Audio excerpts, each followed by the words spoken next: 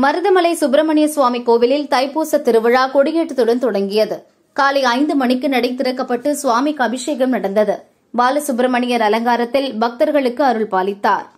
மங்கள வாத்தியங்கள் முழங்க கொடியேற்றி திருத்தேருக்கு முகூர்த்த கால் நடப்பட்டது. ஆயிரக்கணக்கில் பக்தர்கள் கலந்து கொண்டனர்.